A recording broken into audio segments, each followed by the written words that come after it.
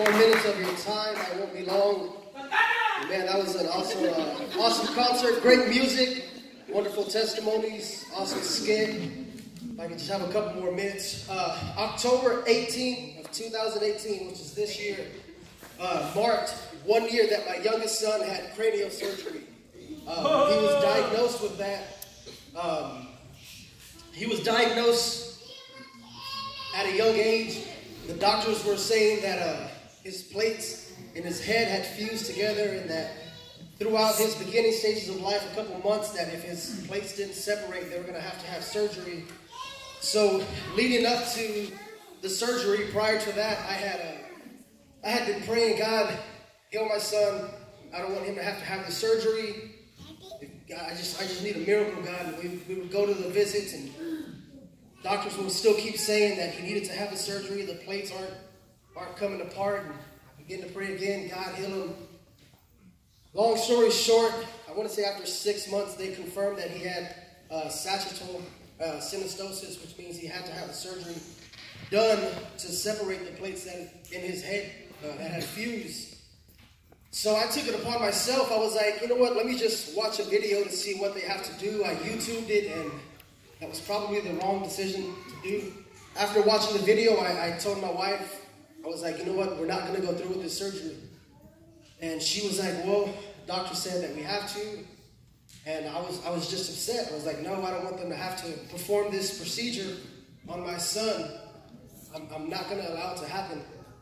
Uh, we went in for one of his last visits, and the, the surgeon asked if we had any questions. And I told the surgeon, I was like, if, uh, if we're going to go through with the surgery, I want to be in the room with him. He was like, unfortunately, we can't, we can't allow that. Uh, we need just the people who are working on your son to be in the room. And I was like, well, I don't know if I want to go through with the surgery then. And he gave us time to think about it. Um, after talking it over, I talked to Pastor, and Pastor was like, you know what, just just believe God. God is gonna God is gonna heal him. He's gonna be okay. We went again, and uh, I told I told the surgeon, I was like, you know what, let's just let's just get it done. They set the appointment for October 18th. Um, and in one of the last visits, the surgeon mentioned something that really caught my attention. He said it wasn't his choice that he was born with this, but the choice that we have as parents is to let let us go, let us have the surgery so that way later on in life it doesn't affect him. And by affecting him, if his plates were fused at a young age, later on in life, his brain wasn't going to be able to grow. So I was like, all right, let's do it. Let's let's get it taken care of. I want what's best for my son. Um, after the surgery, we're, we're sitting in there in, in, the hospital, and one of the things that, that really stuck with me is the fact that the doctor was like, it's it's something that he that, that we need to do for him to live a better life later on down the road. And as I begin to think about that, it popped it popped up in my head that we're all we're all born with something in our life that we have no control. As as far as being being born, we're born into a world of, with something that we have to allow God to begin to change our lives. If not later on down the road, it's going to affect our lives. And we're all born into a world of sin.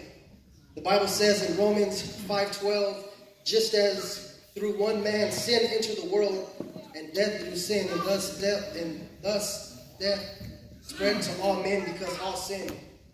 And as I begin to think about that, it was a it was a perfect example of our lives. Like I said, we're born into a world of sin, not by choice, but the choice that we do have is to turn away from our sin.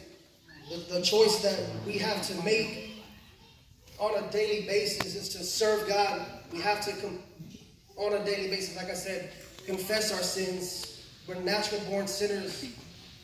And if we want to make heaven our home, we have to turn away from our sins.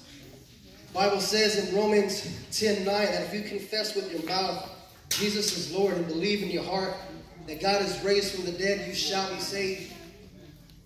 And I, I experienced the love and the joy of being saved four years ago when I bowed my knee and I accepted Jesus Christ into my heart. And just like my, my son's situation, it was something that he was born with, but we had a choice to make so that way he can live a better life.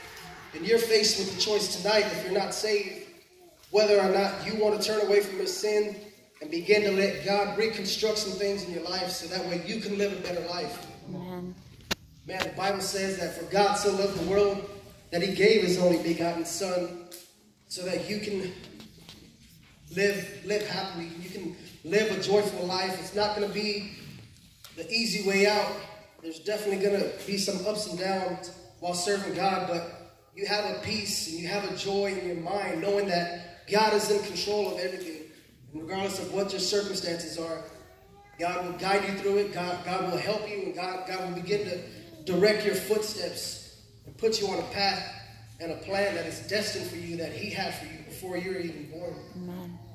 Man, if you're if you're out there and we want to extend that invitation to you, we want to give you an opportunity tonight to accept Jesus.